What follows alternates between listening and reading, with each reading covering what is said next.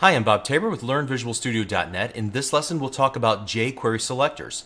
A jQuery selector allows you to grab one or more DOM elements using a cascading style sheet syntax. Remember from a couple of videos ago, we are defining the context by passing uh, CSS selectors into the jQuery function so that we can then work with the collection of elements that we've selected, all right? But as you'll see, jQuery goes beyond what you might typically see in CSS giving you the power to get creative with how you select and navigate through the DOM. Now, as with most topics related to jQuery and JavaScript, there's so much material that it would be impossible to cover it all and fit it into a single video. So, I'm merely going to show you about a dozen examples, and then I'm going to point you to jQuery's own comprehensive list on their own uh, API documentation website so you can experiment from there. All right, so let's go ahead and set up this example. Uh, make sure that you have the code uh, that I have included with this video. You should be able to download it from wherever you downloaded this video or uh, wherever you're currently streaming it. But I'm looking at a file called c9js underscore 15.html. Uh, it is a simple HTML file. Let's just walk through some of its features.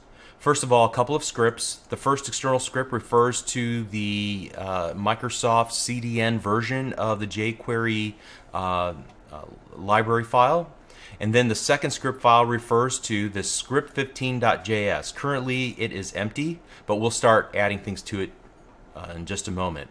And then finally we have a link to uh, an external style sheet, style15.css. If we open that up, you can see that I've merely defined a style for a class named highlight. And so we're going to apply this highlight class uh, to the different selections that we make so it stands out and we can see which selections were made based on the selectors we passed into the jQuery function. All right.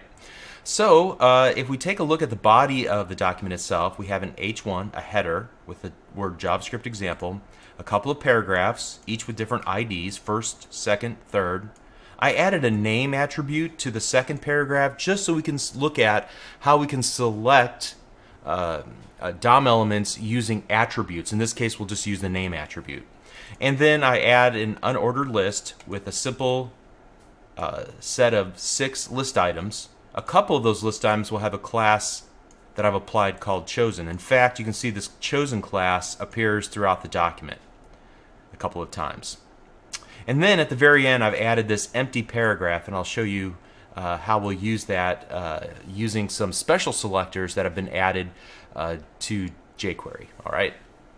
So let's go ahead and just minimize that for the moment and open up our script file. Our first order of business is to make sure that we can, we've got uh, our script file wired up correctly. And so I'm merely going to create a little alert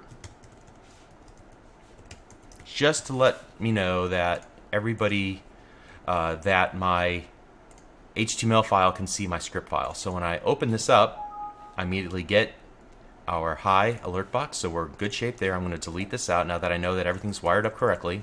And so let's go ahead and start selecting uh, like we did in previous in the previous video where we started selecting by ID. So here, just to get warmed up and remind you, we're just going to select the DOM element that has the ID of first. We're going to add a class to it and we'll add that class that we created in our CSS file, highlight. So let's save that and now open this up. And you can see that we've applied that highlight class, which merely adds a background color of yellow to this DOM element. Awesome. And then let's go ahead and select uh, by element. Uh, and so here we're going to do just all paragraphs.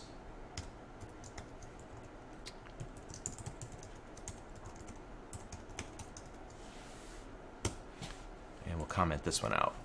So now we're going to select all paragraphs in the document and highlight them. All right, and that seems to work. Great. And then the last easy one we'll do is we'll choose by class. And so we have that chosen class that I've applied to several different list items and a paragraph, or a span, forget which. We'll find out here in a second.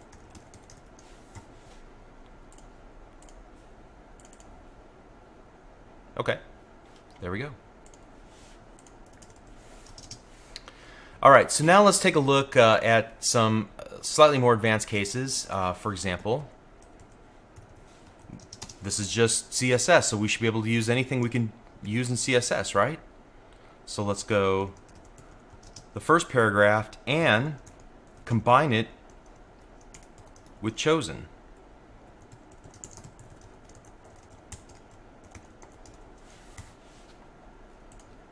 using a comma operator.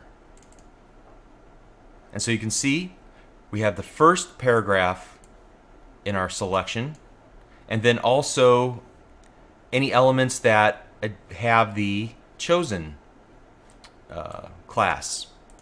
All right. So we can create, I guess you call them combinations. All right. So let's go ahead now and move on to some other cases.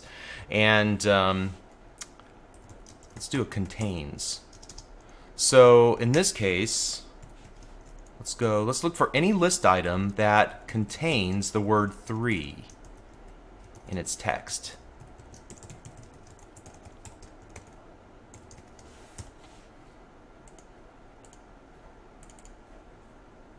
All right, and so since we found the word 3 inside of the text of this list item, we use that as our context to add our class to. Awesome.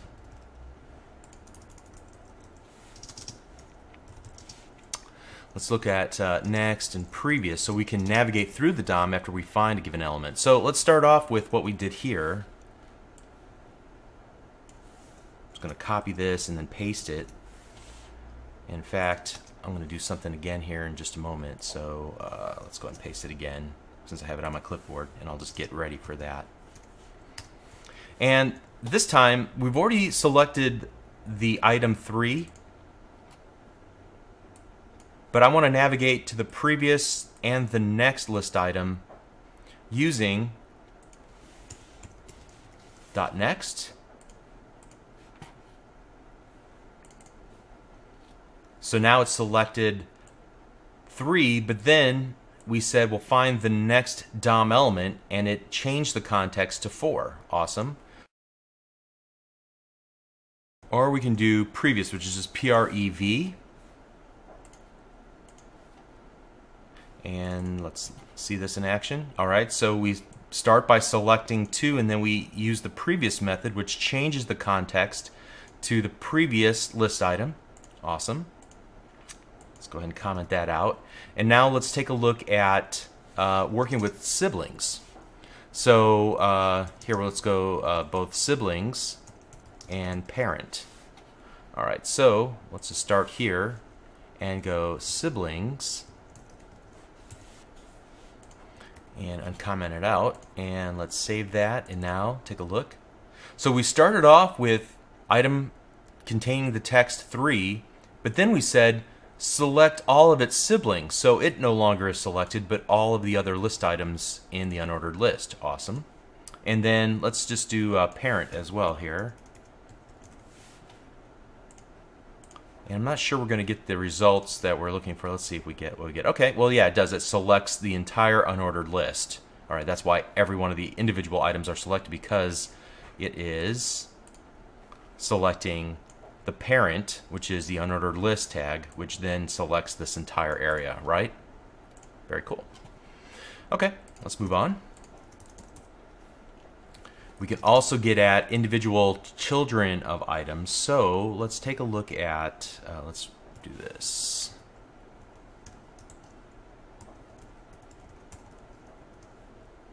So we're looking for any list items, any list items in any list, ordered, unordered, whatever the case might be, that are the first child in that list and add the class highlight.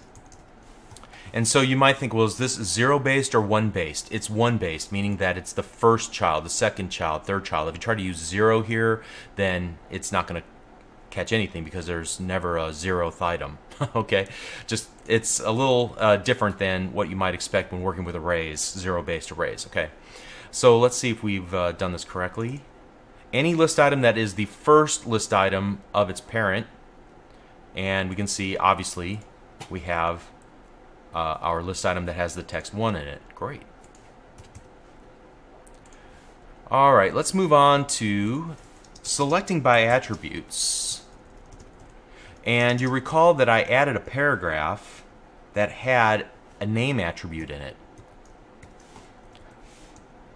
Uh, so we're looking for all paragraphs, and then we're going to use this open and close square brace and we'll set a little equation in here where name equals my second para, because we are looking for this individual item right here where the second where the name attribute is set to my second para. But we could use this on an anchor tag with hrefs or anything all right? And then let's add a class to that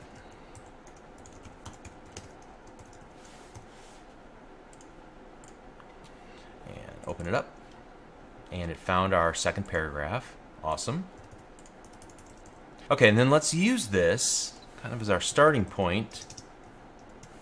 And this time what I want to simply do is add the exclamation mark before the equal sign. So in this case we're testing for equality where name is equal to, and now we're looking for where name is not equal to my second para.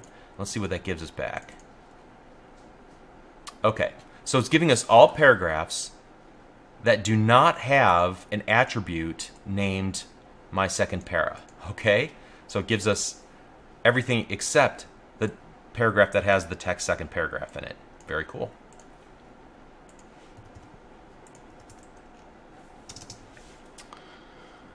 All right, and there's another way to kind of accomplish the same thing. Um, and this will give us an insight to some ways that we can start using a little more jQuery and less CSS.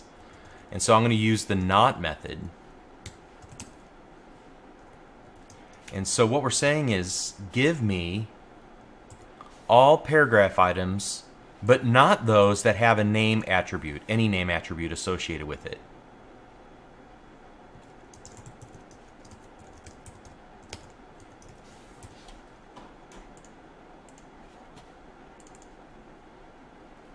Right, and we get the same results as last time because it's essentially these two are exactly the same.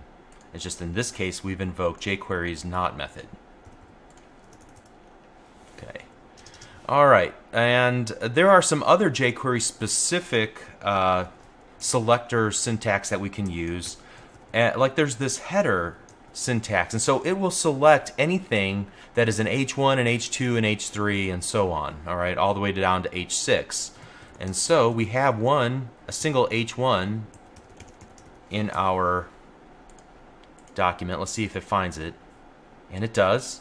The H1 at the very top. Very cool. And then in a similar manner, it has this uh, selector that will allow you to find all uh, empty items. So we're looking for any paragraphs that are empty. And we you'll recall that uh, we have one item that's empty at the very bottom of the document has no text or anything inside of it and so that's the one we're targeting here and so uh, I'm just going to type in you seemed lonely, so I gave you some text. Okay, uh, let's see if that works. All right, and so I'm able to dynamically add in uh, some text. I could style it up any way I wanted to just by looking for those elements that are have no children. All right. So as you can see, there's a lot of different ways that we can go about this. Now let me take a moment here and point you to the documentation. So the best place to get started with the documentation is just api.jquery.com.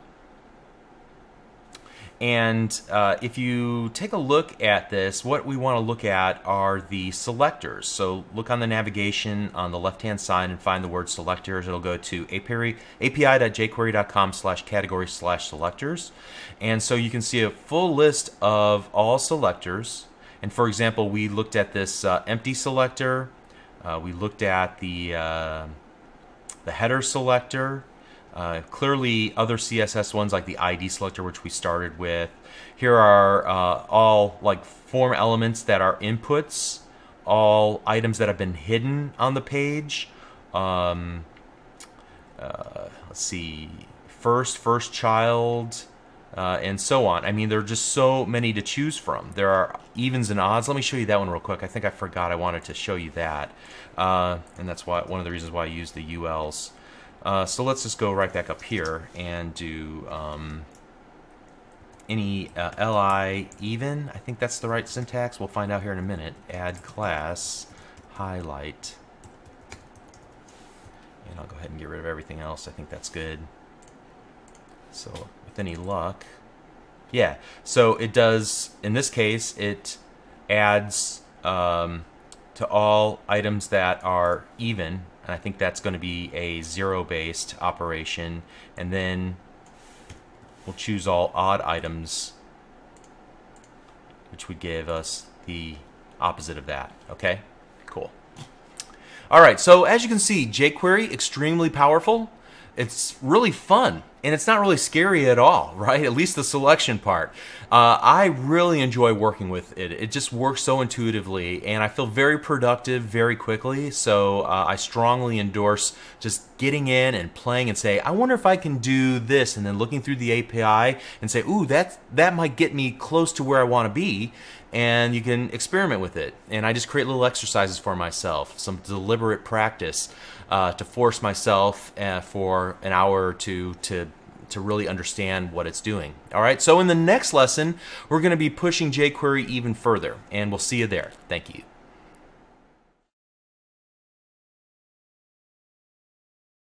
Mm-hmm.